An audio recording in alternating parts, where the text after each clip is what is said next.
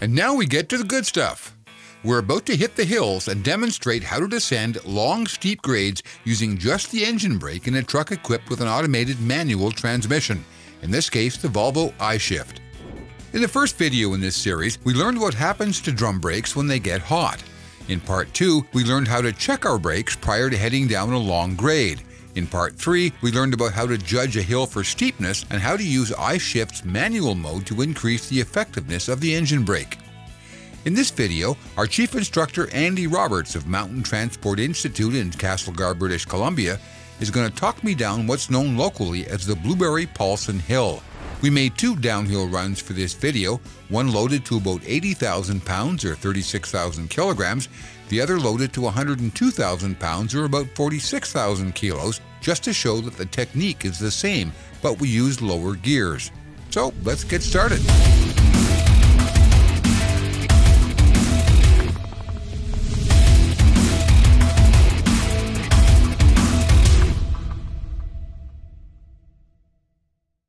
These videos are made possible by Volvo Trucks North America.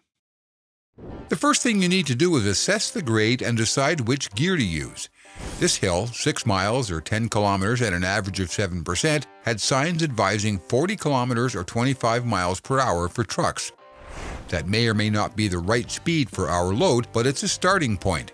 We started from a stop in a brake check area at the top of the hill and we coasted up to speed using light engine brake while letting the transmission upshift to fifth gear. When operating on interstate type hills, when you might come over the top of a hill at 65 miles an hour or 105 kilometers an hour, that means you'll need to use the engine brake to slow the truck to no faster than the recommended speed right at the top of the hill. If there's no posted recommended speed, then about half the posted speed would provide a safe margin for an 80,000 pound truck. Heavily loaded triaxles or B trains should probably shoot for about one third of the posted speed to begin with and then adjust the speed according to the grade. So Jim, we're, we're gonna head down a hill and it starts at about a 6% grade and carries on up to an 8% grade. We were loaded basically a five axle load, 80,000 pounds. So we need to decide what gear we think is going to allow us to safely descend this grade without the use of service brakes. Okay. So Volvo iShift 12 speed, uh, what do you think we're going to need? Uh, top of my head, I'm going to say six or seven, probably. Okay. So to be on the safe side, then we should probably start in fifth or sixth. So six. So a lot right of now. times, and this fools a lot of people, is the sign says 7%, but it's not immediately 7%. So you're going to be a little bit slower to start with. And, and as you've been doing, which uh, people might not be able to notice, is you've been toggling your engine brake between the three different settings, Correct. Yeah. right? And so uh, you can keep your RPM up a bit uh, while you're doing that. So as it stands now, we're in sixth gear, and I seem to be able to toggle between the second and third position on the engine brake, Okay. and that's giving me full range of RPM Yeah. in this gear. So with this hill, as you can see, we're just ahead of us here, we're gonna get steeper. Yeah. So this is likely the right gear because when we get steeper, we're probably gonna spend most of our time in the third setting. Okay. Okay, what speed are we doing, Jim? Uh, right now we're doing about uh, 30 kilometers an hour. 32, 33 kilometers. Okay. So the sign indicates we're gonna go to 8% and you can see how just up ahead, it, it actually definitely does get steeper. It's visibly steeper. Yep. Yeah. So now I'm starting to creep up. My road speed's now about 35 kilometers, and my engine speed's at 19, 1900 RPM. So I've got basically 200 RPM to go. Yeah. And your setting is Just- two or three? Just going through 2000. I think I'm in two right now. yeah, there's three. So now I'm in three. Yeah, and we're on We're the steeper part. decelerating now. So I'm going to put it back to two. I guess I was in one earlier. Okay, so then in that case, we could probably go to a higher gear because we're we're holding back on the steepest part at, and we're actually slowing down at the number two setting. So we're going too slow right now. We're going slower than we need to. Yes. Okay, so let's go up a gear. There you go. Okay, now we're in seventh. Yeah. Pull her back into manual. And now go to our higher setting.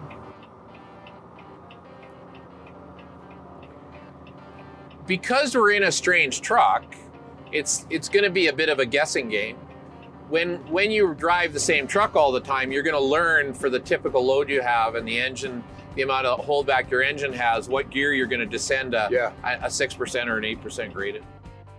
In. In the previous sequence, you saw me settling into the right gear with the right engine brake setting needed for this load on this hill. As the steepness of the grade changes in the next sequence, you'll see me upshift one gear and I'll toggle between the three engine brake settings to maintain my road speed. On the shallower sections, I'll switch between positions 1 and 2, and on the steeper sections, I'll use positions 2 or 3. Okay, so now we're, if this was aviation, we'd call it a stabilized approach. Yeah. We're at uh, 40 kilometers and 1900 RPM, Okay. seventh gear. But we're still only on the second setting, right? Yeah, and we're on uh, position number two. Okay. So let's see what happens when we go to the third setting. Okay, so we're in position number three on the engine brake now, and we're decelerating. So we want to see what it's going to stabilize at because that's going to tell us whether we can go up one more gear. Yeah, The I way think, it's slowing, I think we can. I think we're good. Do you want to go up to eight? Yeah. Let's go to Okay, eight. let's go to eighth gear.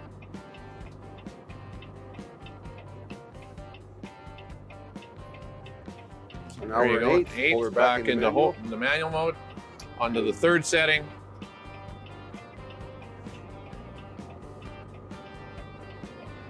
Okay, that's setting number three. So what's our road speed now? 50 kilometers an hour 50K, yeah. and uh, 1700 on the engine. And we haven't touched the service brakes have at not all. touched the brakes. No. Yeah.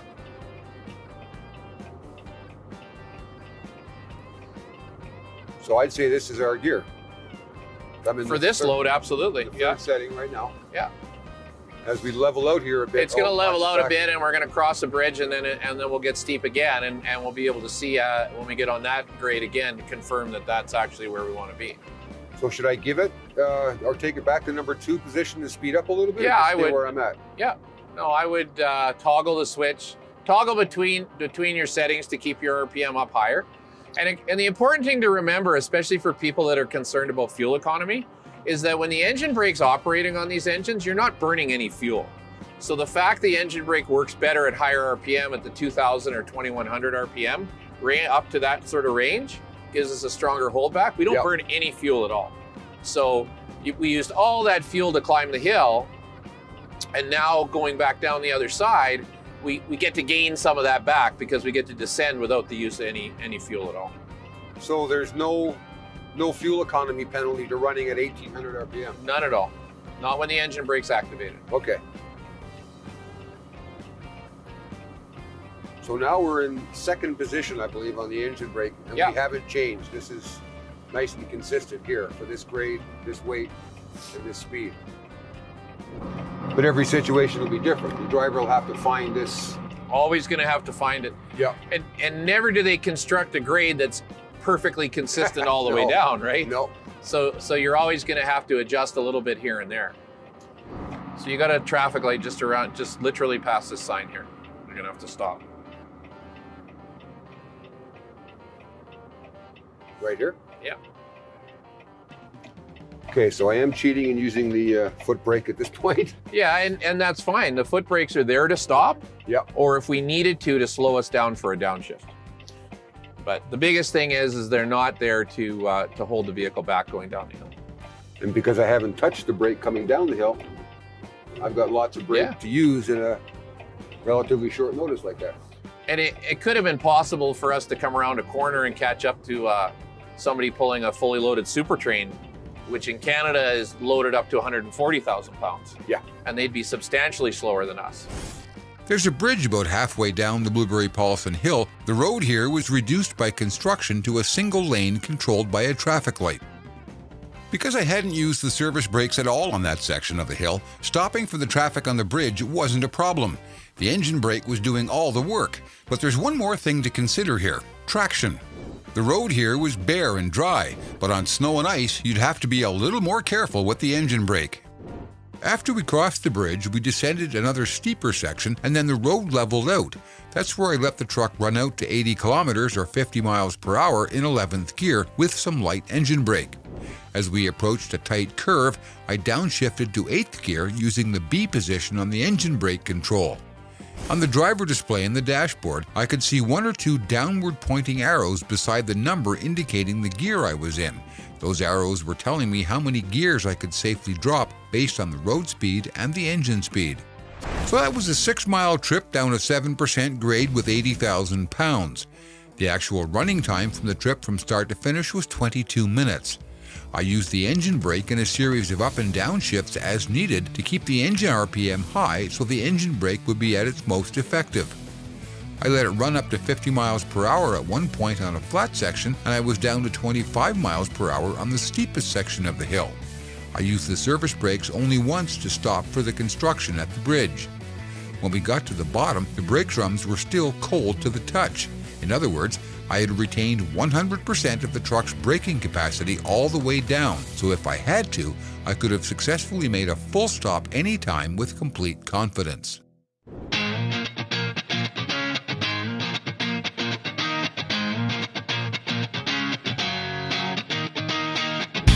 For the final lesson in this mountain driving series using automated manual transmissions, we're going to run that same hill again under a different load that's 25% heavier.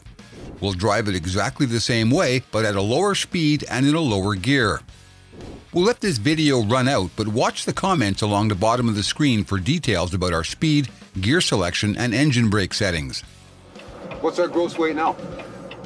Well, we've gained about 25% over the 80,000, so we're about 1025. So 102 40, 46,500 kilograms in Canada, 102,500 pounds in the US. Okay. So, from a practical point of view, that means I'm probably have to go, probably going to have to go slower. If we're not going to use the service brakes, I would agree. So we had sort of settled on eighth gear with that other load. Yep. So we're going to need, I think, to be at least seven. All right. So I'm in ninth now. Let's get down to seventh. Seventh gear, and I'm in third on the engine brake. We're still on a flat part here. We're not really into the hill yet. Yeah. So I'll just let this. so it's it in manual. it's in manual. I'm in seventh gear, and I'm in number one position on the engine brake. So we're just at the fairly flat part of the hill, and we're going to get into the steeper grade here in just a minute. So I'm probably going to have to ratchet the engine brake up a little bit. Uh, but I can feel the extra weight. We're definitely heavier. Yeah. It's definitely pushing already.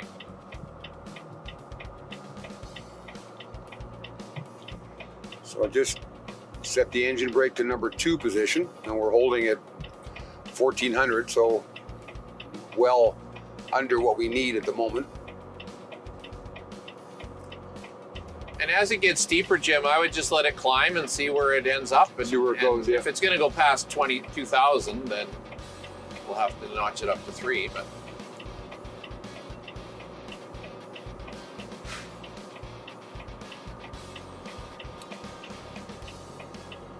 We are gaining a bit of speed here.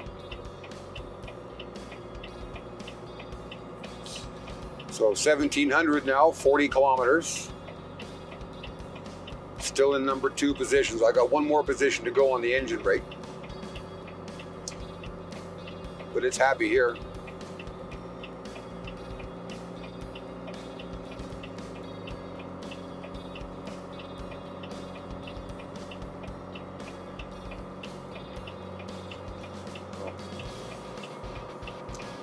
Just put it up to number three. And we're decelerating in number three. so I think that's going to put us in good shape because the hill does get a little bit steeper down here. Yep.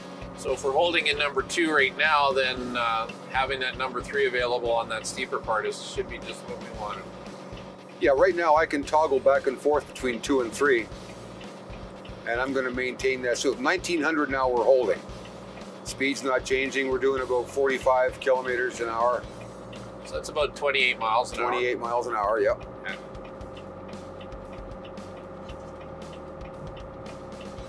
So we're coming into the steeper part of the hill and I'm gaining a bit of speed. So I'm going to pull it into number three now. Third position, we're holding 1900 now. Slowing us a little bit still. But this is pretty comfortable. Yeah, and it's quite acceptable if it slows too much to just toggle it back Just and forth that little bit. Yep. If we go a gear higher, we're going to be too fast. We'd be on the service brakes. So now as it's climbing up, you can always notch it back. So what are we at now there? About 2,000? 2,000, yep. 50K-ish? Not quite at 50 yet, but I'm in third position on the engine brake. I haven't got any more there, so. But she's holding at 21, not going above 21, which is the cutoff. That's our red line.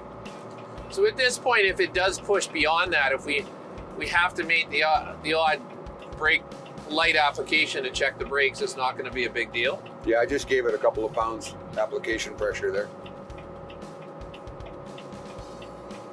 But definitely feel the difference in that extra weight. Oh yeah. We came down this hill on the other trailer at 80,000 pounds. We were in eighth gear Yeah. coming down here. So I just give it another little brake application just on and off for a couple of seconds, really light, maybe 5, 10 PSI. And that brought me back down below 2,000 RPM.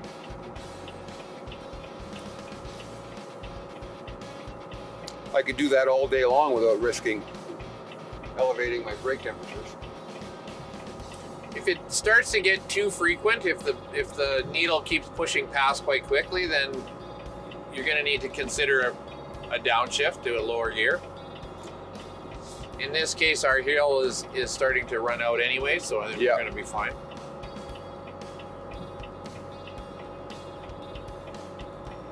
That's sort of the key. If a driver knows the hill, you've got that ability. But on a hill that you didn't know, uh, you know, would you be downshifting there or just let it run out to a flatter spot? Really, I base my decision on how fast it's it's accelerating past the 2,000 mark. So in this case, we did have the sign at the top indicating what the grades were and how steep they were and approximately how long they were. So even for somebody from outside the area, if they did stop and do their brake check and, and read the sign, that's going to give them a, a pretty good idea of what they're faced with ahead Yeah. um, to help make those decisions. Not every brake check is going to give you that information, but a lot of the ones in British Columbia do anyway. So we're coming into a construction zone now. There's going to be a red light stop sign down here. We know that. Uh, but if you didn't know that, and we're coming down here, uh, and you were not taking proper precautions near the top, you could be perspiring a little bit right now. Yeah, absolutely. Um, somebody that descends the grade too fast are going to build a lot of heat in their brakes very quickly because they're going to be needing to check their speed with their brakes. If if you find that your engine's pushing past the 2100 RPM, then of course one of the concerns becomes we want to protect the engine. We don't want to damage it, over rev the engine, and have the engine literally in some cases it could uh, disintegrate. So some drivers will want to shift to a higher gear, but shifting to a higher gear is, is a, sh- a very short term solution. It's going to give you more speed, it's going to require more brakes, and it's going to put you in more trouble. So, really, it's having your brakes cold enough if you've selected the wrong gear that you can make a single brake application, get your speed way down, probably to thousand RPM or less, in order to downshift to that lower gear so that you can regain control of the vehicle without the use of the service brakes to carry on. Hopefully, you've managed your speed and your brake appropriately from the top. You can do that close to the top and realize the mistake you've made before you get into some serious trouble. Yeah. So now we're coming into a place where we have to stop. There's traffic here at the bottom of this. Uh, my brakes are nice and cool. I barely used them. So perfectly safe, perfectly under control here. Absolutely no problem. And if, you find yourself in a scenario uh, where you're not confident in how to uh, to make that downshift, then if your brakes are cold again, you can make a single application and literally bring the vehicle to a stop if you needed to, Yep. and select the lower gear. Uh, biggest mistake drivers make is is when they're in too high a gear to carry on and hope they're going to make the bottom of the hill, um, because that generally ends pretty badly.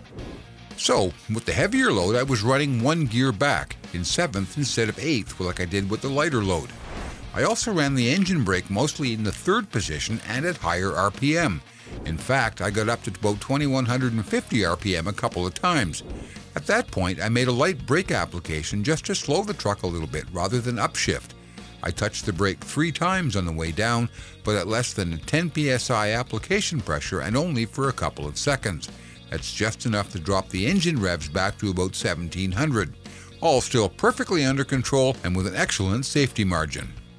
It's easy to say that sitting here, but to a new driver, this experience could be intimidating. If they choose a certain speed and a certain gear, and then start to see traffic building up behind them on a two lane highway such as the road we're on in this video, then there's some pressure there to speed up and get out of the way. Ignore that pressure and carry on with what you're comfortable doing. We do have some traffic lined up behind us, and because of the, the part of the world we're in where, where it's a single lane road, that's going to happen from time to time. And uh, really, there's, there's not a lot you can do about that, and you can't allow those people uh, to determine how you're going to operate your vehicle. You, you need to operate it safely, and uh, in order to do that, uh, sometimes you're going to delay other people. Yeah, that does put a bit of pressure on the driver. Mountain driving need not be a terrifying experience if it's done properly. You need to appreciate the limitation of the brakes and use them sparingly, if at all, on hills. If you approach the hill properly and get slowed down at the top of the hill to a speed at which the engine brake can maintain a safe descent speed, you'll have no difficulty at all. Here are the key takeaways from this mountain driving video series. Consider the weight of the truck and the length and steepness of the hill when picking a speed at which to descend the hill. You're safer going too slow rather than too fast. With automated manual transmissions, pick a gear and use the manual mode to prevent the transmission from upshifting. Use the engine brake settings 1, 2, or 3 to maintain a steady, safe speed. If the engine speed is climbing too fast, you're probably going too fast. Slow down and downshift while the brakes are still cold. Ignore how fast other trucks might be driving, they could be a lot lighter than you are. Drive your truck on the hill. So I'm sure you've seen by now that driving in the mountains, your brakes are your friend. You really got to pay attention to the condition they're in and make sure they're working for you. We've gone through the whole thing now from, you know, in brake inspections, the uh, brake check area. We've talked about downhill descent techniques. We've talked about keeping it in the right gear, knowing what gear to put it in, how to use your engine brake. Basically, we've given you in these videos uh, a how-to on how to descend literally any mountain grade you're going to run into with any load. The whole idea is to keep the thing in a range where you can control the speed of the truck with just the engine brake. You start at the top of the hill with your brakes cold, and when you get to the bottom of the hill, your brakes are the same temperature. There's no need to use the service brakes when you're descending the hill properly with your uh, proper engine brake technique. And if you follow our advice in these videos, I think you'll find a, pretty successful driving career ahead of you. You'll never have another problem on a mountain grade again. So best of luck to you and catch you next time.